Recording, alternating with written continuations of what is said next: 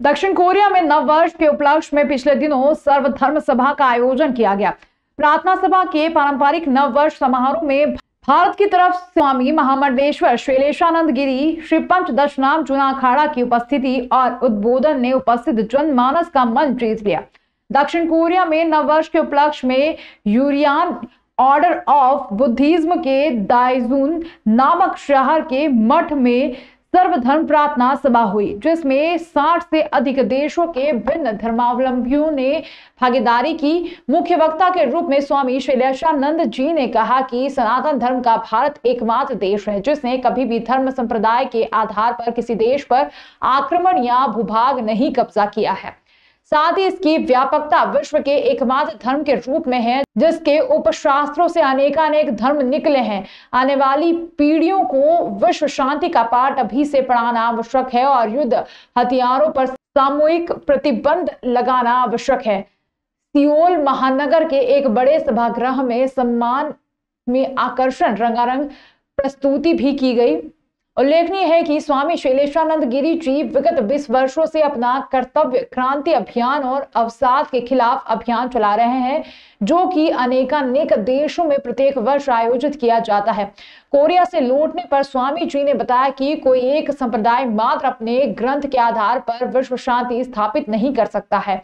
और सनातन धर्म एक ऐसा विशाल दर्शन है जिसमें समस्त विश्व के संप्रदायों की जड़ है अतः विश्व शांति का विचार इससे श्रेष्ठतम तरीके से क्रियान्वित हो सकेगा She used to say, He is the alone Father who sent me on this earth to guide you as a shepherd.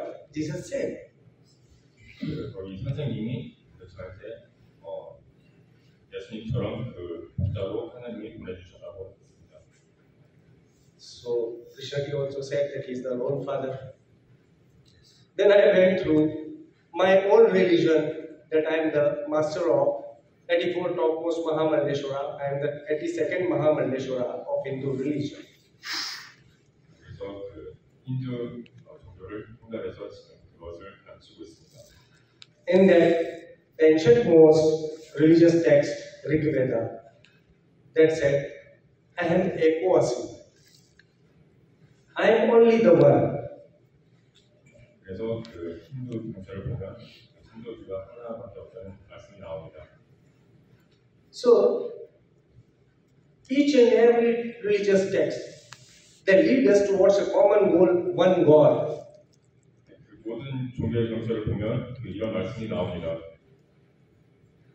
But I don't know why all these nations, religions, caste, creeds, colors, there were so much of differences. 그래서 왜 이 세상의 모든 사람들이 어, 서로 싸우는지는 모르겠지만 그 이것을 막아야 됩니다. देखिएगा जो दक्षिण Korea है वो चंद्र calendar के आधार पर चलता है जैसे हम लोग भी ज़्यादातर चंद्र का आधार लेते हैं और ज्योतिष के अंदर तो उस उनका जो नौ वर्ष है वो फरवरी माह के अंदर आता है है उस दौरान वहाँ की एक संस्था है जो कि विश्व शांति के लिए निरंतर कार्य कर रही है और उनके जो अध्यक्ष हैं, उनको महात्मा गांधी पुरस्कार, शांति पुरस्कार भी मिला हुआ है। विश्व के अनेकानेक देशों के अंदर उनको पुरस्कार मिला हुआ है। वे सर्वधर्म प्रार्थना सभा करते हैं।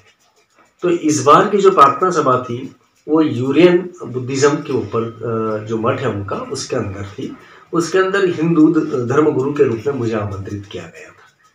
और वहाँ पर बासठ से ज़्यादा देशों के जो भिन्न धर्म गुरु हैं भिन्न राजनयिक के वो लोग वहाँ पर आए और उनके मध्य में सनातन धर्म से कैसे विश्व शांति संभव हो इस विषय पर मेरा व्याख्यान रहा था अ, भारत देश से एकमात्र आप ही थे? नहीं भारत देश से बुद्धिज्म की ओर से भी कुछ लोग गए थे किंतु वो व्याख्यान के लिए नहीं गए थे। वो एक अंतर धर्म संवाद के लिए वहाँ पर पाठ्यक्रम होते हैं। उन पाठ्यक्रमों को अटेंड करने के लिए गए थे। बाकी वक्ता के रूप में एक संत के रूप में धर्मगुरु के रूप में मुझे आमंत्रित किया गया। कितने दिन का आयोजन था ये और कितने देश के लोग आए थे? बासठ से ज़्यादा देशों के लोग आए थे और छः दिन का प्रमुख कार्यक्रम था और उसके बाद में दो दिन का कार्यक्रम सिंगापुर के लोगों के साथ में अलग से हुआ था। मुझे आपने व्याख्यान में क्या बोला? ये एक श- मतलब शॉर्ट में थोड़ा सा बताइए। जी देखिएगा विश्व शांति की हम जब बात करते हैं तो उस समय पर हर धर्म ये बताने का प्रयास करने लग जाता है, राष्ट्र बताने का प्रयास करने लग जाता है कि वो ही श्रेष्ठ है। तो हमने बताया कि सनातन धर्म से उद्धृत वहाँ से ही इनका उत्सर्जन हुआ है, वहीं से समस्त जितने संप्रदाय हैं, उनका निकलना हुआ है, और सनातन धर्म तो स्वतः ही शांति का पाठ जो प्रत्येक जीवन निर्जीवन के अंदर ईश्वरीय तत्व की बातें करता हो, शांति की बात करता हो तो हमने प्रेम, विश्वास, शांति का संदेश जो सनातन धर्म के तहत हो सकता है, वो वहाँ पर दिया। और साथ में उन लोगों से एक सहमति प्रदान करी कि विश्व में युद्ध नहीं होने चाहिए। और युद्ध से की जो विभीषिकाएँ हैं, वह अंततो गतवा कई सदियों तक प्रभावशाली रहती है और मानव उसके अंदर सुखी नहीं रह सकता। तो युद्ध के खिलाफ भी एक अभियान उसके अंदर था।